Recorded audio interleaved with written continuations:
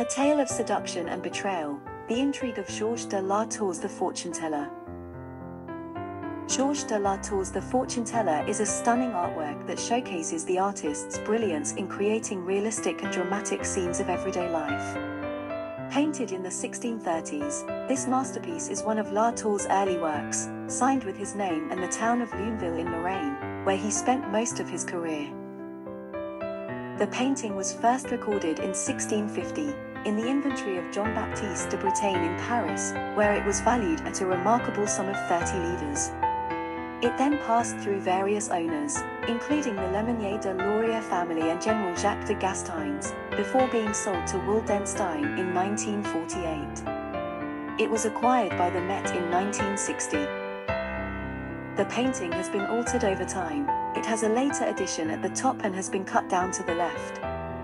It is possible that it was originally a pendant to another work by La Tour, such as the cheat with the ace of diamonds or the cheat with the ace of clubs. The painting depicts five figures in a contemporary interior, dressed in lavish costumes that display La Tour's skill in rendering textures, patterns, and colors.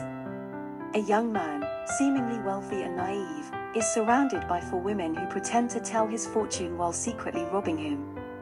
The fortune teller, or the plural, Des Désirs de Bonaventure, was the title used for this painting during La Tour's lifetime, and the subject was common in Europe in the 16th and 17th centuries. La Tour was influenced by Caravaggio, who popularized this theme in a similar format. The painting also reflects the social prejudices and stereotypes of the time, as the women are presumably depicted as Roma people, often derogatorily called gypsies in the early modern period. The viewer is meant to be both attracted and repelled by the scene, as the women's beauty and charm contrast with their deceit and theft.